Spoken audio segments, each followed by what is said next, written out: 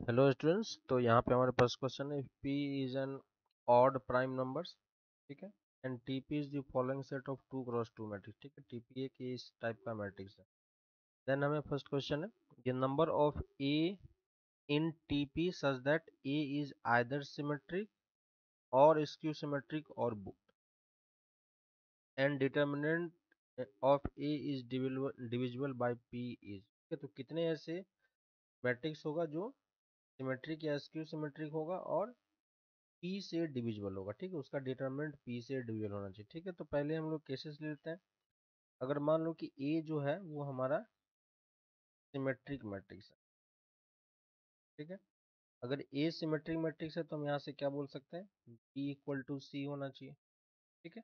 और B equal to सी अगर होगा तो डिटर्मिनेंट ऑफ़ A की वैल्यू हम क्या बता पाएँगे? डिटर्मिनेंट ऑफ़ A हो जाएगा आपका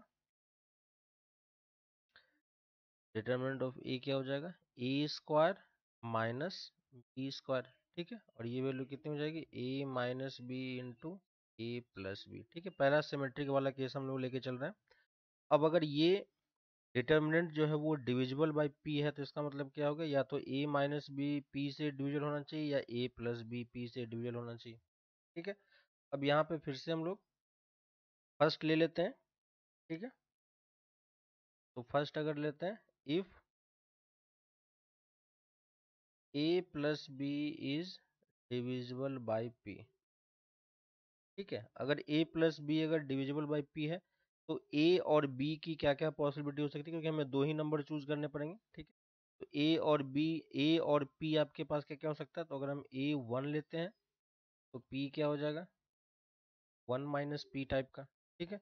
अगर ये टू होगा तो p माइनस टू टाइप का। और ऐसे ही लास्ट क्या हो जाएगा? अगर ये p माइनस वन होगा तो ये वन हो जाएगा, ठीक है? तो टोटल कितनी पॉसिबिलिटी हमें यहाँ पे दिख रही है? यहाँ पे हमारे पास total p minus one ways हमें यहाँ पे दिख रहा है, ठीक है? कब ये हो गया? जब a प्लस बी जो है वो डिविजिबल बाई p है, ठीक है? अगर a minus B divisible by P होता है तो क्या होता है? If a minus B is divisible by p then A minus B अगर डिविजिबल बाई पी होगा तो क्या होना पड़ेगा? पी क्योंकि ऑड नंबर है, ठीक है? तो हम यहाँ पे क्या बोल सकते हैं? ये तभी होगा जब A minus B equal to zero होगा, ठीक है? और A minus B equal to zero होगा, इसका मतलब कैसा कह सकता है?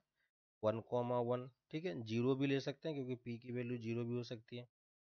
टू कॉमा टू और इस टाइप से P minus one comma P minus one ठीक है?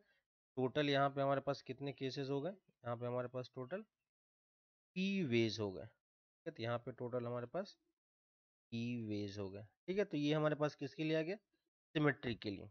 नेक्स्ट अगर आ जाते हैं हम लोग कि अगर ए स्क्यू सिमेट्रिक होता है, ठीक ठीक है if A is skew symmetric if A is skew symmetric अगर ए एस क्यू सिमेट्रिक होगा तो क्या कंडीशन हो जाएगा? तो आपके पास जो डिटर्मिनेंट हमें मैट्रिक्स हमें दिया हुआ है ए बी ए तो यहाँ पे डायगनल एलिमेंट क्या होने पड़ेंगे? ज़ीरो होना पड़ेगा और बी किसके इक्वल होना पड़ेगा? माइनस सी के। यहाँ पे हम क्या बोल सकते हैं? B plus C equal to zero. ठीक है? और अगर ये कंडीशन होगी तो यहाँ से आपको, अगर आप डिटर्मिनेंट की बात करें, क्योंकि ए पी जो है वो हमारा क्या है? ऑड नंबर है, ठीक है? तो अगर ये डिटर्मिनेंट डिविजिबल होना पड़ेगा इसका मतलब ये क्या होना पड़ेगा? डिटर्मिनेंट की वैल्यू कितनी आ जाएगी? यहाँ से देखो, ये आ जाएगा आपके पास बी स्क्वायर ठीक है? और ये बी स्क्वायर तभी डिविजल होगा जब ये इक्वल टू ज़ीरो हो जाएगा, ठीक है? तो यहाँ से क्या कंडीशन आ जाएगी? बी इक्वल टू ज़ीरो और अगर बी ज़ीरो होगा तो सी भी हमारा ज़ीरो हो जाएगा, ठीक है?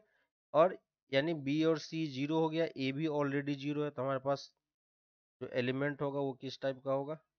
ए और बी किस टाइप का होगा? ज़ीरो कॉमा ज़ीरो का होगा। ज़ीरो कॉमा ज़ीरो हम ऑलरेडी यहाँ पे काउंट कर चुके हैं। ठीक है? तो ये हमारे पास आ गए। तो टोटल नंबर की अगर हम बात करें, ठीक है?